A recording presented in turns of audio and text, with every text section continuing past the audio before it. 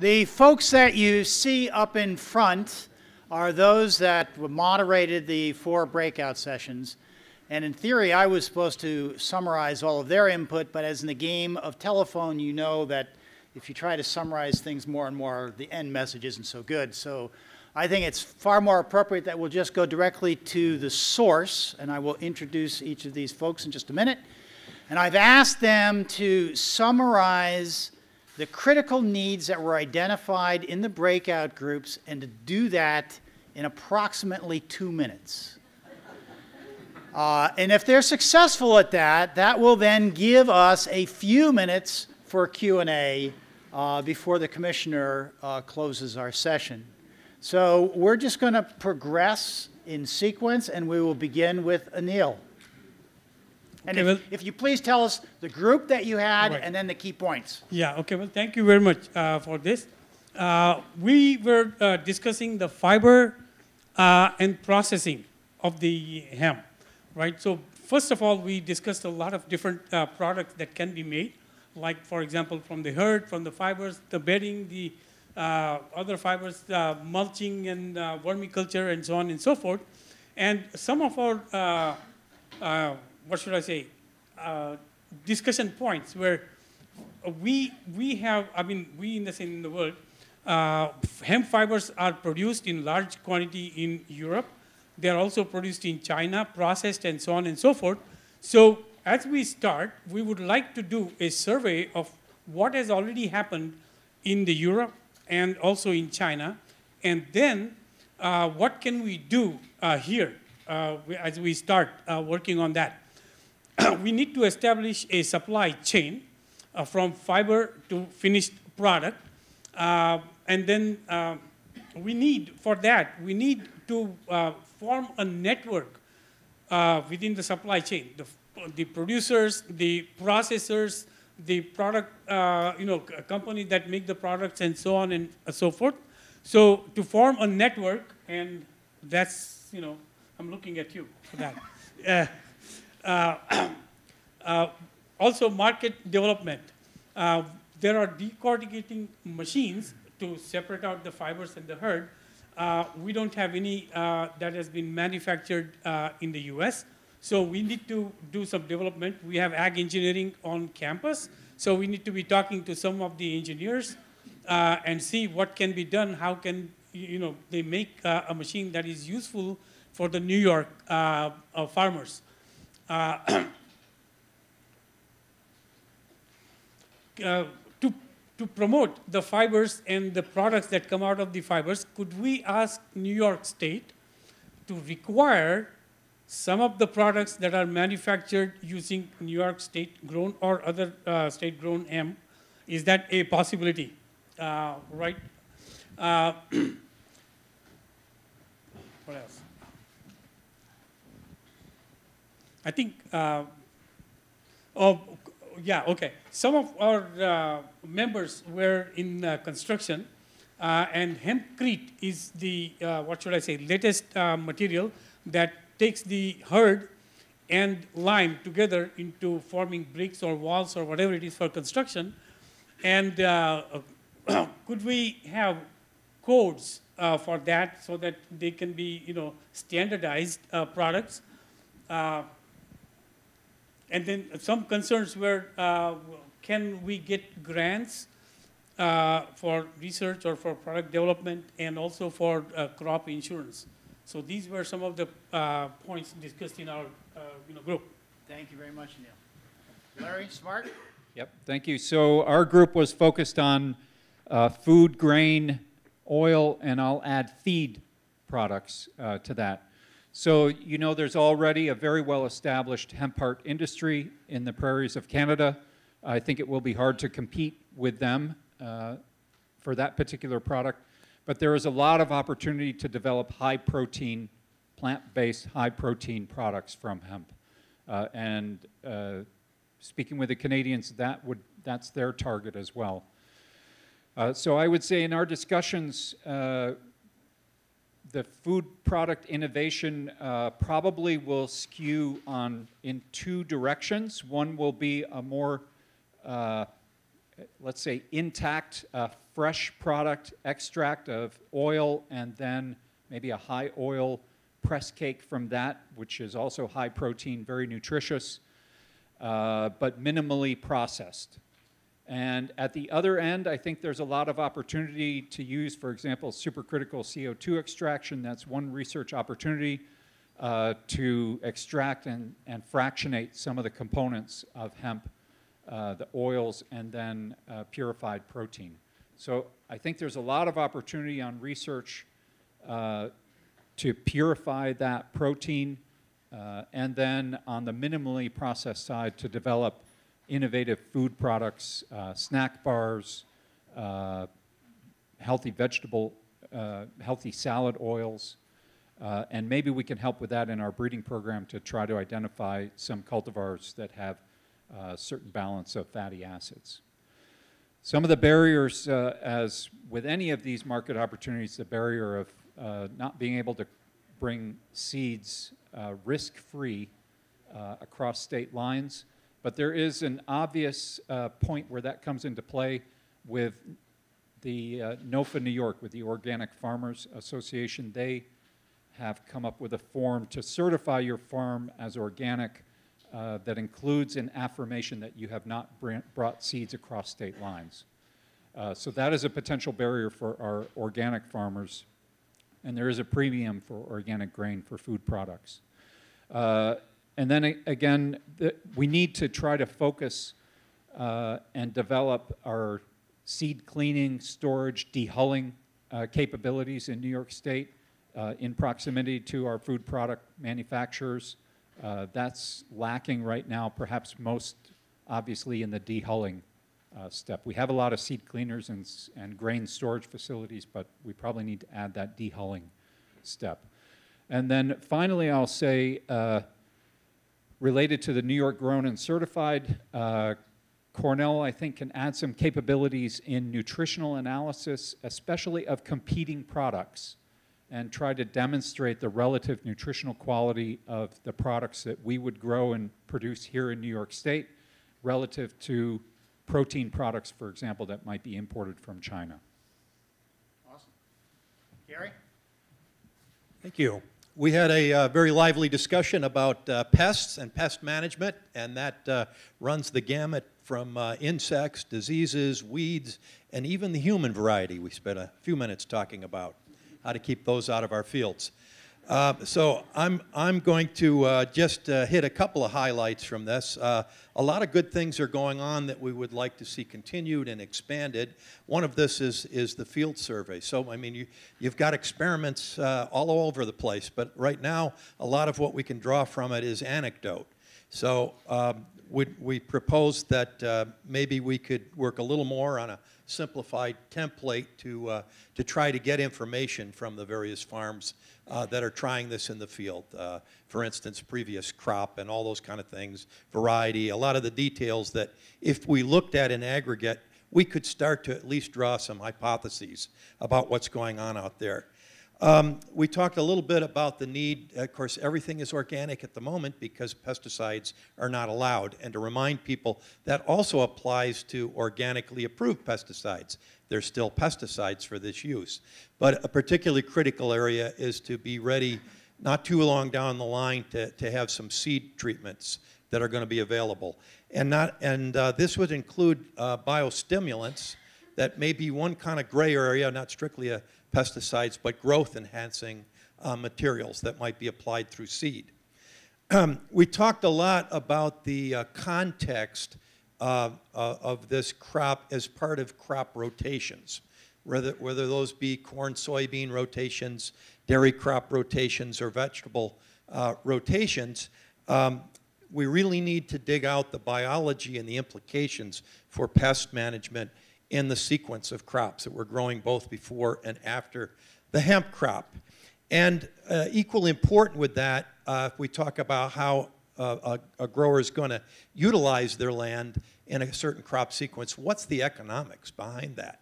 If they need to, uh, you know, break up, uh, you know, because of sclerotinia white mold problems, if they need to follow this with a crop of corn or wheat, what are the implications versus other things that they're going to be growing in that field? We talked a little bit about uh, how valuable this exercise is and the networking that's going on here and how we could keep that going on. And one of the, one of the I thought, good recommendations was maybe the uh, Hemp Industries Association might uh, be able to host a listserv or some kind of social uh, media platform that we could keep conversations going on in real time through the gro- growing season beyond. And uh, the situation we're going to be in for at least some time is we're not going to have pesticides. We're going to really need to emphasize the, uh, particularly the cultural control practices. And I think one at the top of that list is to really look at what we can do with cover crops, particularly grass and cereal cover crops, that we might, uh, first of all, look at that as a mechanism for uh, weed management suppression, but also in the cases of, of some of the, the diseases that we might be able to suppress uh, some of those things. So those are our kind of top five. Excellent, thank you. Alex?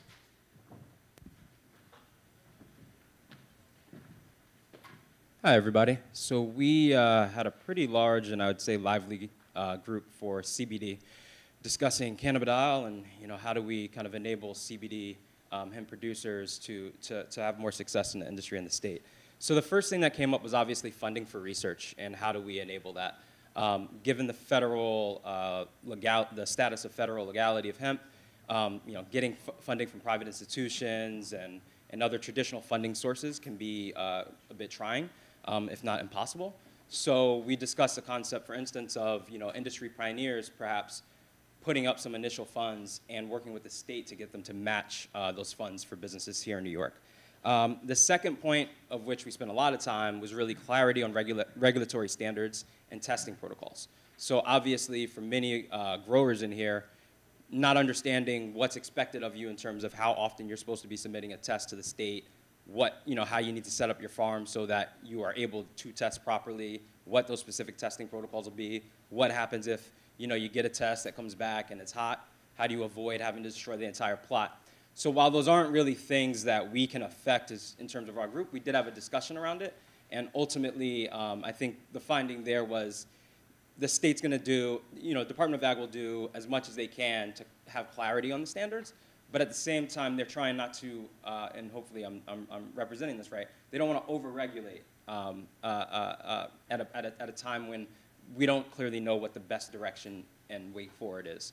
Um, in absence of that, we've, you know, I think we all agreed that being the most um, uh, uh, careful and, and, and uh, you know, applying the highest standard that you're aware of is probably the, the, the, best route to go, and obviously constant communication with the department. Um, we also spoke about standards on messaging for CBD nutritional products um, as opposed to uh, uh, uh, you know, medical products. Um, and we, we, I think we agreed on that there needs to be, we should lead with some standard, standardization around how we message. And that we should really be researching the very messaging on those products um, and figuring out a way to share that amongst each other in the industry so that it can collectively grow together. Um, just a few more things. Another big point, and one that I personally think is like maybe the most important, is enable collaboration within the industry. So this is one by sharing lists of resources. So what greenhouses are growing, what farmers are growing, processors available, et cetera. Now, granted, some of that information we're not, you know, the state can't disclose for, you know, various privacy reasons, but to the extent that they can, um, we thought that that would be really helpful so everybody knows where they can go for different resources. Um, and secondly, uh, hitting on a, on a point that he just made, building some kind of like social platform online that we can all interact on um, and, and, and connect with each other. Um, and then the last two were all around education. The first, better educate the public for consumers.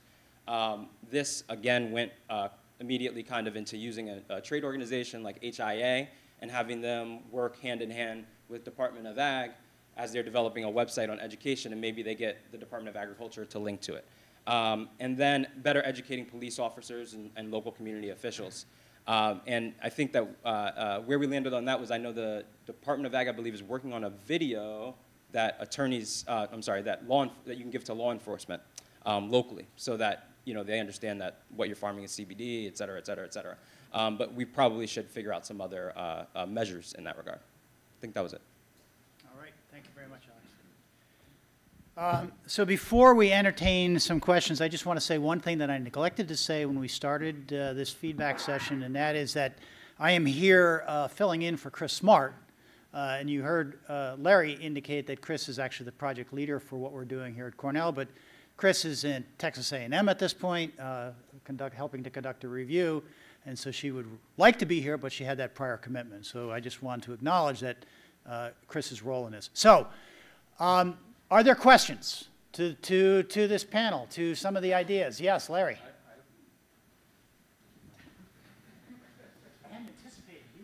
Yeah, because, because uh, Alex mentioned uh, Hemp Industries Association, uh, and those trade groups are quite active in other states. For example, in Kentucky, they have a quite active uh, trade conference there.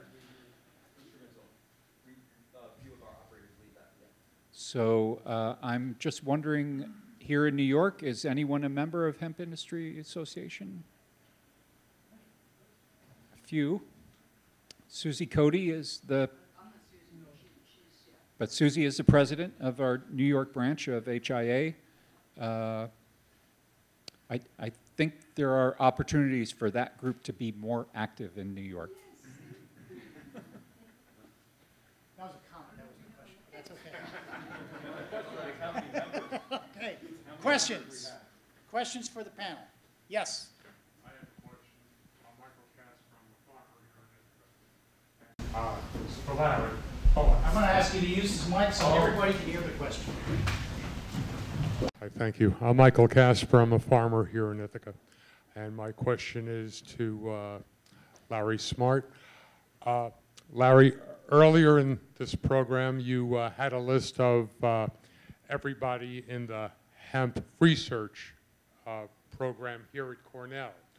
And how would I approach somebody uh, in that group? Yeah, so, so I've been acting as the point person. Uh, so I'm happy to continue in that role. Uh, send me an email, give me a call, and if it's a question that I can't answer directly, if it's a disease question, then I'll direct it to Gary. If it's an insect pest question, I'll direct it to Elson. If it's something about developing a new food product, you know, so on and so on. But, but feel free to use me as a point person. My, my contact information is on our website. We have simplified our URL now, uh, so it's hemp.cals.cornell.edu.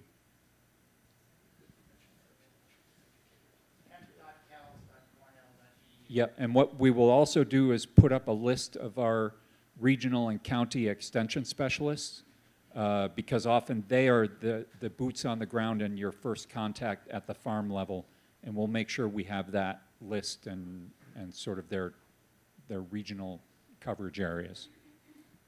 Yes. This isn't really a question, but we were talking about um, a, um, a, s- a social platform that we all could use. Just made a group called Hemp Discussion Group, and if you want to join it, so you all, it's on Facebook. I don't know who uses Facebook, uh, but if you do have Facebook and you want to join it, it could we could all join it so we can be in discussion with all together. That way, we don't have to worry about what information can be released and what can't be released, and we can discuss amongst ourselves and just skip that step because that sounds complicated. Other questions?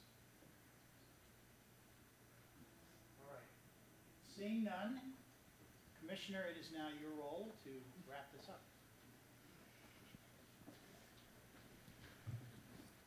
I'll use the term kind of loosely, wrap it up, because although the plane is circling the field here, I feel like we're just taking off in so many ways. Uh, let's give a round of applause to our group leaders here and panelists. And thank you very much, Jan. You know, this has been a pretty insightful session, I think. I've been taking notes furiously, and I know our folks have uh, been taking notes in all the sessions. And I, for one, would just like to harness a little bit of the energy that's in this room, because I think we could plow a lot of fields together. But these are the kind of questions that we needed to be asking ourselves. These are the type of practices that we need to share with each other. And I think you probably learned as much from the person you were sitting next to as you did from uh, all our speakers here today. Uh, I think we heard also quite a bit about different ways that we can leverage uh, the industrial hemp industry to boost agriculture in New York State, which of course is, is the overall goal in our mission, and potentially new businesses and processing as well. uh, before we can move this industry forward, uh, we really needed to learn and hear about the research that we got done last year and look at our experiences so far. And that's why it was so critical to have all of you, the experts, our research partners, academia, all in one place, all in the same room, and have eye contact with each other. Look at the barriers, look at the opportunities to grow, and then put together the strategies it's going to take to get us home. The governor has given us a great head start, and I think with the strength of our research partners and with your passion and that energy, I think we're uh, in a good place to keep the momentum going here in New York State. I think today we've identified some pretty key areas for research. I know I took some great notes, and I think you've already built the connections that you're going to need uh, to stay in touch. And, you know, we want to make sure that we build those connections, but we don't duplicate efforts. So, here we go. I've always said that things just seem to work better when we work together. I think this is a good example of that. The governor, as you know, likes to hold summits. I like summits. I like forums too. And I think this has been a pretty great one. Uh, I want to thank you for being here today. I think the enthusiasm, the information has been exceedingly valuable. And I have to say, once again, I got to thank Cornell especially uh, for doing such great research, the SMART team, and Jan and all your folks, all the researchers that are involved. I want to thank especially Chris Nyberg for being our MC, Jan for bringing us home here, and especially all the panelists that, uh, once again, let's give them a round of applause before we leave here. I'm going to ask that you keep us posted on your progress. Uh, we'll stay in touch with you. Stay in touch with us, please, as we navigate the industry and take it forward. And again, thank you so much for attending this forum today and adding so much in that way. So thank you all for attending. Have a safe trip home and a good evening.